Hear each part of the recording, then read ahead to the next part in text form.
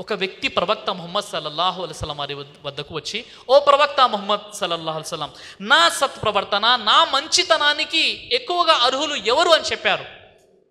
ఈ విషయం అడగగానే ప్రవక్త వారు అన్నారు ఉమ్మక్ నీ తల్లి అని చెప్పారు. ఒక వ్యక్తి మంచితనానికి ఒక వ్యక్తి సత్ప్రవర్తనకు అందరికంటే ఎక్కువ అర్హులు ఎవరు?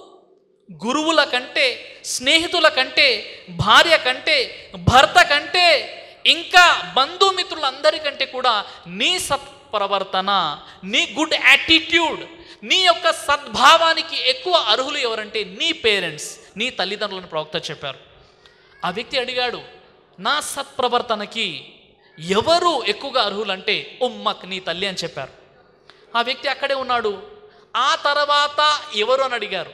ఆ తర్వాత ప్రవక్త ఎవరు అన్నారు? సుమ్మ ఉమ్మక్ ఆ తర్వాత కూడా నీ తల్లి అని చెప్పారు. రెండుసార్లు చెప్పేశారు. ఆ వ్యక్తి అక్కడే ఉన్నాడు మళ్ళీ అడిగాడు ఆ తర్వాత ఎవరు? అనగానే సుమ్మ ఉమ్మక్ ఆ తర్వాత కూడా నీ తల్లి అని చెప్పారు. మూడు సార్లు నీ తల్లి నీ తల్లి నీ తల్లి అని ప్రవక్త వారు చెప్పారు. నాలుగోసారి ఆ వ్యక్తి మళ్ళీ అడిగాడు ఓ ప్రవక్త నా సత్ప్రవర్తనకు అందరికంటే ఎక్కువ అర్హులు ఎవరు? అనగానే సుమ్మ అబాక్ సుమ్మ అబాక్ అని చెప్పారు. అంటే ఆ తర్వాత నీ తండ్రి అని చెప్పారు. అంటే ఇస్లాంలో తండ్రి కంటే తల్లికి మూడు రెట్లు ఎక్కువ స్థానం ఇవ్వడం జరిగింది.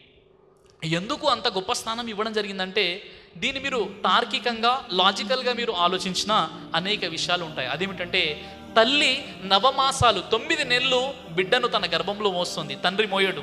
ఎక్కడైనా మీరు విన్నారా? మొదటి కాన్పు తల్లిదైతే రెండో కాన్పు తండ్రిదాన్ని ఎక్కడైనా విన్నారా? లేదు కదా?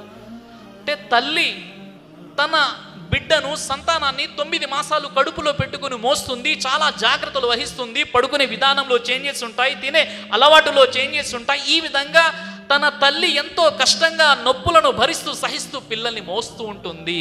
మొదటి రీజన్ ఈ బిడ్డ ప్రపంచంలోకి రాగానే రెండు సంవత్సరాలు పాలు పడుతుంది ఇది రెండో రీజన్ మూడో రీజన్ ఏంటి? ఐదు సంవత్సరాల వరకు మలమూత్ర విసర్జనలు సైతం విసుక్కోకుండా ఆమె శుభ్రం చేస్తుంది. ఇది మూడో రీజన్ నాలుగో రీజన్ ఏంటి? నువ్వు ఏది కోరితే అది వంట చేసి పెట్టేది తండ్రి కాదు తల్లి. ఈ నాలుగు గొప్ప రీజన్స్ మీకు కనపడతాయి. కాబట్టి తండ్రి కంటే తల్లికి మూడు రేట్లు ఎక్కువగా అల్లా సుభానవతాల గొప్ప స్థానాన్ని ప్రసాదించడం జరిగింది.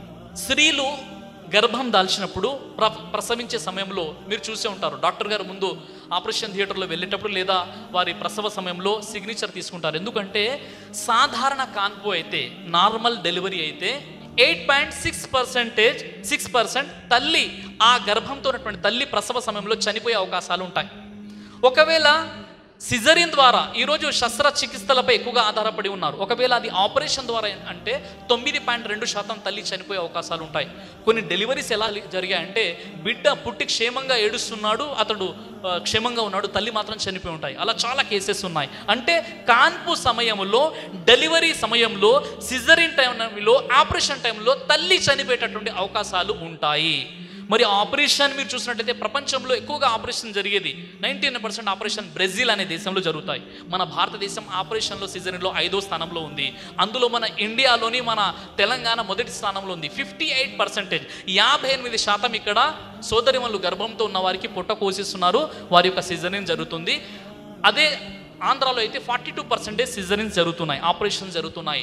తల్లి యొక్క కడుపు మందము సెవెన్ లేయర్స్ ఏడు పొరలను కత్తిరిస్తూ టెన్ టు ఫిఫ్టీన్ సెంటీమీటర్స్ తన తల్లి తన పొట్టను కోయించుకుంటుంది.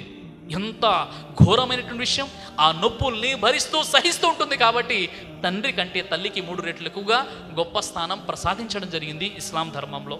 కాబట్టి ప్రవక్త మొహమ్మద్ రసూల్లా సస్లం వారు తల్లి పాదాల క్రింద స్వర్గం ఉందనే గొప్ప విషయం ఎందుకు చెప్పారంటే ఇందులో అనేక అంతరార్థాలు మీకు కనిపిస్తున్నాయి. బ్రదర్ సిరాజ్ అని యూట్యూబ్ ఛానల్ని మీరు సబ్స్క్రైబ్ చేసినట్లయితే ఇన్షాల్లా దేవచిత్తం అయితే మీకు వీడియోస్ వస్తుంటాయి. అదేవిధంగా బ్రదర్ సిరాజ్ అనేటటువంటి ఫేస్బుక్ని కూడా లైక్ చేయడం వల్ల మీకు వీడియోస్ వస్తుంటాయి.